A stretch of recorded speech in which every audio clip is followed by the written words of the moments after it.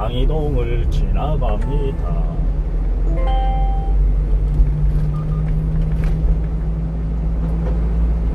어, 오호호호호호.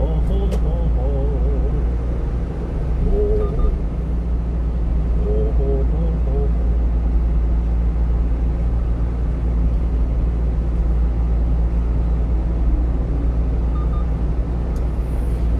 약 600m 앞 시속 50km 단속 구간입니다. 약 600m 앞에서 청월 사거리 강동 구청 방면 오른쪽 방향입니다. 단속하는 데는 놀락하지 마라. 후딱후딱 천천히 가면서 인역 1km 앞 50km 신호 위반 과속 단속 구간이오다.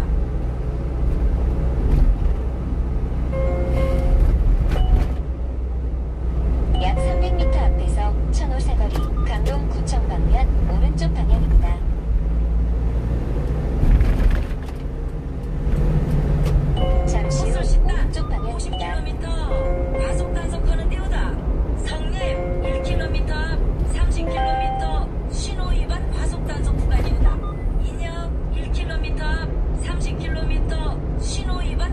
잠시 후. 우회전입니다.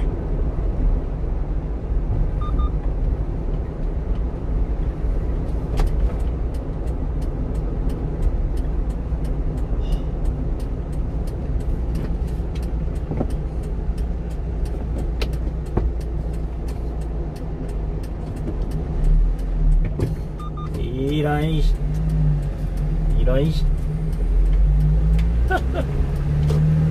약 300m 앞 강동구청에서 성내삼동 방면 우회전입니다. 이어서 147m 앞 비보호 좌회전입니다. 잠시 후 우회전입니다. 이어서 147m 앞 비보호 좌회전입니다.